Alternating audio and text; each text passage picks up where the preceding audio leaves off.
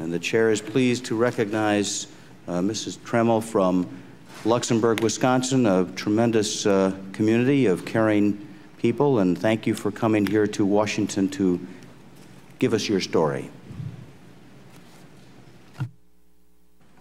Um, thanks for having me. Um, my name is Judy Treml. I'm here representing myself, my husband, Scott, and my three daughters, Caitlin, Emily, and Samantha. I'm also speaking on behalf of many other families that find themselves facing the same potentially life-threatening effects from exposure to contaminated water in northeast Wisconsin.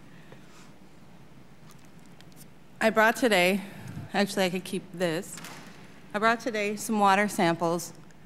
I'm more of a, a presentation kind of person um, for your viewing. If you look at these three bottles of water, two of them are polluted with E. coli. One of them is not. Um, I present this to my um, local legislators, my state, and all of them would pick this bottle as the clean water. If I asked you to pick which bottle you think is the clean water of the three, which one would you pick? If you picked this one and you drank this, one, this water or gave it to your infant daughter, you would be poisoning her with E. coli. This is the new safe drinking water flowing into my house after the DNR made recommendations to the depth of my well water to be 400 feet. I would not give my children a bath in this water. I would not drink this water. This water has to be filtered with three different filtering systems to the tune of about $6,000. Like I was saying, my, my six month old daughter was poisoned. We went to the doctor. We found out that in the event um, that this illness would turn um, bad, the, the outcome for her would be death. To me, that's unconscionable. I had a safe water test on February 4th, 2004, and by March 2nd, in a state run lab test, I, I had measurable counts of E. coli at 2,800 parts per milliliter. That is 1,800 parts per milliliter more than what it takes to close a public beach in Wisconsin in Algoma and near our home.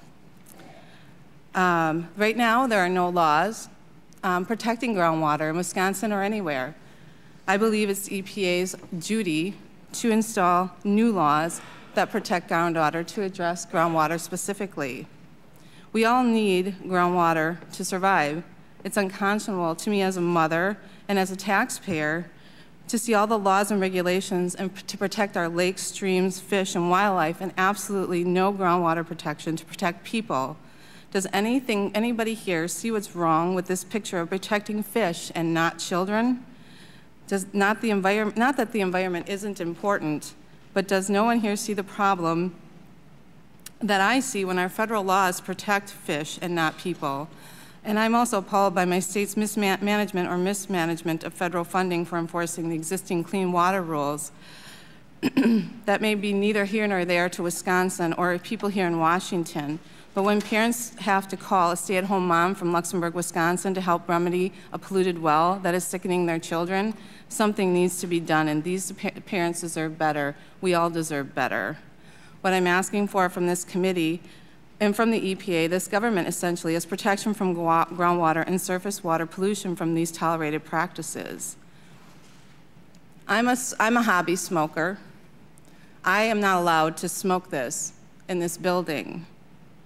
Why? Because this government and our state, Wisconsin, impose smoking bans in public places and in restaurants and workplaces and in these federal buildings. Yet there are absolutely no laws to protect my groundwater from pollution from another source. You've all protected yourselves from the air pollution that secondhand smoke causes, yet nobody seems to think that when somebody pollutes somebody else's well, that there needs to be any kind of law against that.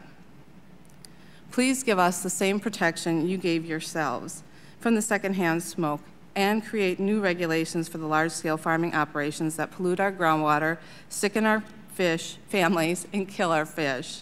And please don't force us to have to wait for the, the tragedy to happen, as what happened with the E. coli contaminated spinach a few years back people had to die from that before anybody really paid attention. Just as it would be illegal for me to light this cigarette and force you to breathe in my smoke, it would just, it should be just as illegal for someone to poison my groundwater supply. Thank you. Thank you, Judy, for your story, and thank you for your written testimony as well.